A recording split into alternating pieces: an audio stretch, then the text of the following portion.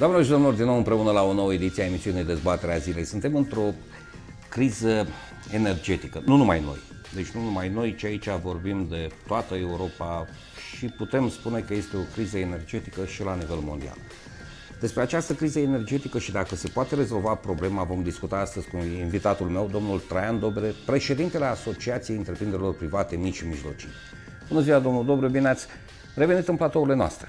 Când a spus criză energetică, eu am scris aici pe hârtiuța mea generată artificial. Și de ce artificial? Dacă luați prețul de cost, de producție, de transport pe înaltă și lăsăm un 10% Profit. Să, profit la băieții ăștia deștepți, care nu știu ce obligație avem cu ei, vă spun eu, prețul la n-ar ajunge nici la 0,3 bani pe kilowatt. Nici la 0,3 Adică 30 bani, de bani. 30 de bani. E mult. Uh, Asta pe bune. Uh, Păi și atunci de ce Păi să vă spun de ce. Restul prețului ajung, o, o luăm invers, nu cu normal, anormal. Ajung la băieții deștepți. Deci asta ar trebui să, să punem ca problemă, ar, nici nu ar trebui să existe ca problemă.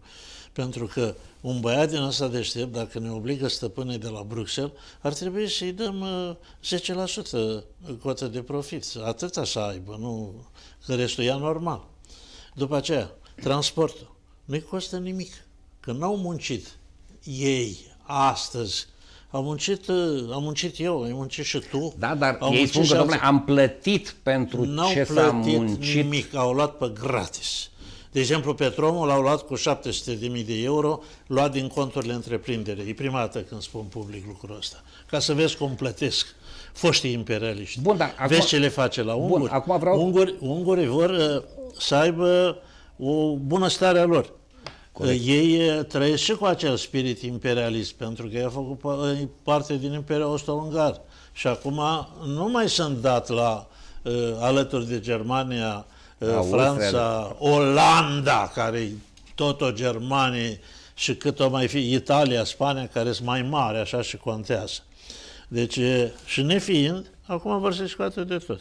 Pentru că, sincer să fiu, după gândirea mea, ce face Ungaria este normalitate. Un șef de stat pus, ales de popor, trebuie să-și apere poporul lui. Bun, aici este cât se poate de clar. Nu Ungurii pe au spus ideea clar că... Nu pe ideea că să fim solidari, cum spune șefii, șefii Imperiului Uniunii Europeană, să fim solidari. Ei vor să fim solidari la ce? La resursele noastre. Dar noi suntem solidari la bogăția lor? Când a fost vorba să stăm la aceeași masă, nouă ne dea, dea produse de calitatea a treia și cu prețuri aproape mai mari? Da. Deci noi suntem tratați ca într-o colonie, ca au experiență colonială, da? pe post de, de sclavi. Bun, dar aici Vor cei să din fim energie- Dar consumatori, Bun, să fim dar, o piață de dar sărce. cei din domeniul energiei spun în felul următor, domnule, prețul a crescut din anumite motive. Faptul că nu au fost precipitații, în lacurile de este acumulare adevărat, nu, nu, este, mai există. Nu este adevărat. Lasă-mă să continui că nu este adevărat. Sunt minciuni sfruntate. Deci, acest preț, până la o anumită valoare, mai conține accize, Da, le ia statul. uh, cogenerare, Da. uh, mai conține, mai conține încă ceva care, dacă prețul e atâtica, ce adaugă ei la stat e cam atâta. Cam atâta. De 5 ori. De ce? De ce fac lucrul ăsta? Pentru că în felul ăsta statul încasează bani, încasează bani ca să își plătească dobânzile și să-și poată rostogoli creditele la finanțele mondiale și europene. Dacă țineți așa una, nu o să vă mai vedeți la cameră. Nu știu. Bun, nu știu. uh, dumneavoastră Deci- spuneți că această sumă mare care o impune Intră statul e ca, la să, stat, ca intră să la stat. plătească ca creditele. să aibă bani să-și plătească dobânzile dar într-o la situație, creditele bun, dar care într-o sunt- situație de criză ca aceasta, Într-o situație de n-ar criză. putea Hai să, vedem. scadă? Hai să vedem ce... A, așa, ai spus un cuvânt magic. Într-o situație de criză, ce ar putea să facă? Ar putea să lase prețul la cât este el real cu, uh, cu 10%. profit 10% pe toate filierele, să-l lase. Și în felul ăsta are un preț mic și nu mai sărăcește populația, nu mai distruge economia și, în general, industria. Și atunci, omul nostru, în loc să-i dau 100 și să-i măresc la 300 salariu, eu scad prețul ca în așa fel încât cu suta aia care o are acum să, se să cumpere de trei ori mai mult produse. Am dat că am dat de trei ori. Da, da, da. da. Să se să ajungă. Și în felul ăsta eu nu, nu fac uh, nu fac uh, Speculă, nu. inflație. inflație. Nu, nu, nu. Bun, dar stați că da. Elimin inflația. Bun, dar băncile și, de unde ne-am împrumutat... În, în, în, și, și pentru ele am. Elimin inflația și vă spun eu, mă ascund și sub pământ de, de dumneavoastră, dacă nu e așa, într-un an de zile toată lumea începe să zâmbească. Pentru că având prețul la economie mic, el se reflectă absolut în tot. Curentul electric intră în aproape intră toate produsele. În tot, Energia aproape, în toate. electrică, da. Spunem da, da, da. un simplu exemplu, unde nu, ai ceva, nu este fără nu energie electrică. Nu, da. nu. Nu există fără energie. Bun, dar băncile la care statul trebuie să plătească dobânda, cu ele ce facem? Că ele spun, bă, mie dă mie rata și dobânda? Nu scădea tu prețul că după aceea să n-ai cum să-mi dai mie. Cu ele cum? Cum negociem? România este stat unitar, independent și suveran. Așa. Ce facem cu datoriile la bănci? Haideți întâi să vedem ce s-a făcut cu multele miliarde luate de guvernul român și care nimeni nu știe ce a făcut ei. Au plătit salariile mărite. Asta crezi? Hai să vedem de ce Comisia Europeană ne-a repartizat aleatoriu vaccinuri care de vreo 8 milioane de doze stau pe stoc acum și așteaptă să iasă din termenul de garanție. Bun, încă o dată revin la întrebarea. Băncile, Europeană, ce le face? Banca Europeană poate fi dirijată. Replanifică creditele la puterea de rambursare. Asta trebuie să facă. Că pentru că așa face orice bancă. Sau te execută.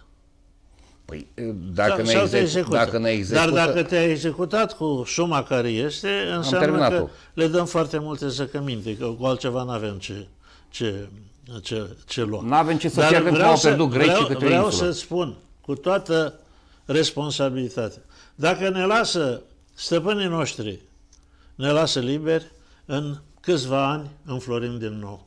De ce? Pentru că eu cred în acest popor, popor, un popor inteligent, un popor cu putere de inițiativă, un popor muncitor. Cum adică stăpânii noștri să... Uniunea Europeană dar cine este Adică vreți ca România să iasă din Uniunea Europeană sau cum? Am spus altfel... eu asta. Nu, dar ca să ne lase... Dar trebuie să lase. Suntem uh, suverani. Nu ne dictează ei ce facem la noi acasă. Ne aliniem la niște principii. Ne aliniem. Ungurii acum vor să nu le mai dea niciun ban. Vă spun eu. Ungurii la ora actuală au spus Ungurii... foarte clar că, domnule, noi depindem de gazul rusesc, noi nu putem să nu luăm gaz rusesc, pentru că altfel ne-am distrus economia. Și nu sunt de acord. Același lucru l-au spus și uh, slovacii. Domnule, noi depindem de gazul rusesc. Vrem în continuare, că altfel murim. Și, și n-au dreptate, dacă gândim economic? Într-un deci au perfectă dreptate. Pe de altă parte, în cazul României, nu putem spune că depindem de gazul rusesc. Pentru că deci mai... se luptă America cu Rusia și cine pierde Uniunea Europeană, în primul rând, țările din Uniunea Europeană, da? În primul rând Germania, care era o putere economică, da? Păi de asta au spus nu, Franța... solidaritate în Uniunea Europeană. Dom'le, hai păi, ca să nu... Nu, nu, nu, nu, de solidaritate în toate domeniile nu să ia resurse de la noi, să trăim și noi ca ei, că ei au resurse economice, financiare, au capitaluri, au valori foarte mari. Ei sunt bine mersi, bogați și foarte bogați și noi să rămânem și fără resursele minerare. Nu-i corect. Deci nu-i corect. Pentru că mulți uh, specialiști spun, domnule, dacă economia Germaniei se prăbușește, s-a terminat. Uniunea Europeană... Nu e adevărat. Nu e adevărat. Ei așa susțin, domnule, economia Germaniei reprezintă motorul economiei Uniunii Europene și atunci... Într-un fel. Dacă ai relații economice cu ei, dacă depind, dar uh, ce se întâmplă? Noi le dăm forță de muncă la, cum se cheamă, la rădăcinile alea, Uh-huh. Cum se la, în agricultură, la uh, legume, legume. Da, sunt niște care e greu de scos de cultivat. Le trimitem forță de muncă cu avioane speciale când era COVID, când da, era toate, da. nu știu cum se cheamă planta aia, așa, era, e de mâncare. Așa, și uh, noi le trimitem forță de muncă și ei, noi putem lua de la ei orice. Dar ei ce au de la noi? Gaz, fier, ce mai avem, cupru, Bun, dar acum, aur și așa mai departe. Haideți că la, la ora actuală au ieșit, a ieșit ministrul uh, energiei și a spus, domnule, rezervele de gaz ale României sunt la 80% și încă vom mai face rezerve de gaz pentru a trece de această perioadă. Problema este, la energia electrică ar trebui să scadă acizele și atunci ne-am putea noi relaxa.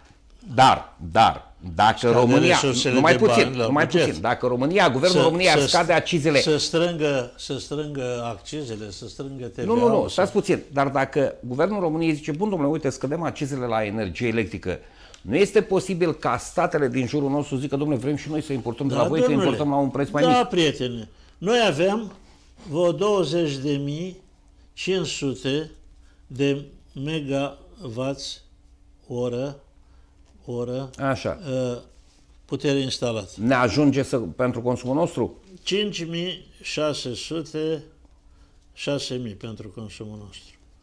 Puterea asta instalată nu o pot repune în funcție într-o zi, într-o două.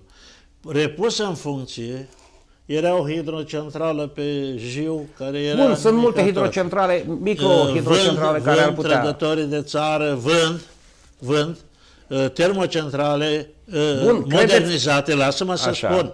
Așa că nu este o criză de energie. Dau drumul încet, încet, fac un inventar cu resursele care le am, financiare, umane, în forță, ca și cum ar fi război, că noi suntem mai rău ca în război, așa și încep azi dau drumul la una, mâine la alta, în ordinea în care uh, e cel mai puțin ca problematică, uh-huh. și mhm. ca muncă, și ca bani, și ca tot. Le dau drum.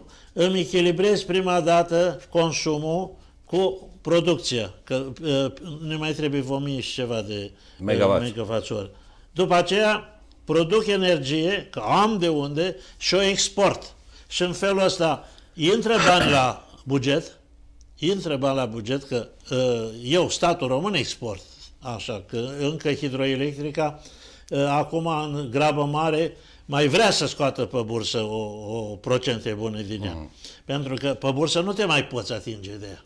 Da, da. da. Așa. Bun, dar uh, toate acestea care a acesta, spus... Și în felul acesta, într-o perioadă relativ scurtă, cu o putere energetică foarte mare și toată Europa și toată lumea are nevoie de energie, eu îmi plătesc acele, îmi rostogolesc acele date, da, îmi plătesc rată Bun, dar și ca să... nu mă mai întreb cu ce plătesc. Nu, nu, nu, dar ca să pornim aceste hidrocentrale... Nu trebuie, trebuie bani să... mulți. Uite, de exemplu, nu știu, la Rovinar sau nu știu unde, uh, mina, mina, din mină se scoate cărbune doar pentru două zile pe săptămână și se chinuie săraci oamenii aia, două zile merge și încă vreo două zile se chinuie să o repornească după ce o opresc, pentru că trebuie 25.000 de euro un utilar să-l bage în mine, să crească productivitatea. Da, 25.000 de euro nu reprezintă nimic pentru păi bineînțeles, nimic, că e a statului, zero. domnule, și în loc să fac prostii. După aceea, faptul că se încurajează nemunca. Ăsta este un regim în care se încurajează nemunca. Nimic nu strică mai mult decât nemunca, plata nemuncii. Este un principiu economic. Și atunci, în loc să îi dau unuia o mie de lei, îi dau un loc de muncă la cărbune oriunde, nu să-mi facă mie nazuri, oriunde și scot cărbune, scot ce am nevoie, îi pun la muncă unde am nevoie și a, în loc să le dau câte o mie, el câștigă 2000, 3000, trăiește cu demnitate pe Bun, lui. Asta, soluția respectivă, credeți că cei din guvernul României nu s-au gândit la acest lucru? Uh, cred că nu-i lasă stăpânii să gândească. Odată, o variantă. Altă variantă, de ce o spun, de probabilități. aș vrea să dea Dumnezeu să mă înșel eu, dar am dreptate 99%. Așa, aș doua, încurajăm nemunca. Și cu, cu costuri. Cu costuri. Nu vezi că la televizor, în loc să... Ne-a arătat, e adevărat, și un inventator, dar care statul nu vrea să ia în considerare din deșeuri din deșeuri, el Poate scoate să producă energie. energie. Băi, Da. da. Bine, aici uh, sunt Așa. multe Ne discuții. arată o familie cu uh, soțul stă acasă, mama stă acasă, cu cinci copii și care trăiesc din, Din alocație. Da, suntem la, la uh, finalul acestei emisiuni. Mulțumim foarte mult pentru participare și pentru ce? pentru o soluție care ar trebui, dacă ne urmăresc și factorii de răspundere, Hai să spun. să o iei în calcul. Pe 29 iulie am scris două uh, mesaje la doi oameni care fac parte din conducerea acestei țări. Nici bună ziua n-au dat. Da.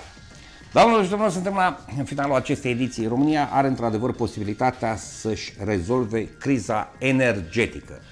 De ce? Pentru că așa numita criză de gaze naturale, la ora actuală, în urma exploatării gazelor naturale din Marea Neagră, România are 80% din rezervă acoperită. Și încă, și încă mai intră uh, gaze naturale în, în rezervele Dar nu asta noastre. e problema, prietene. Nu. Bine, Problema este că uh, avem prioritate la cumpăra gazul Asta așa este. și da, la, la prețul de bursă și gaz românesc.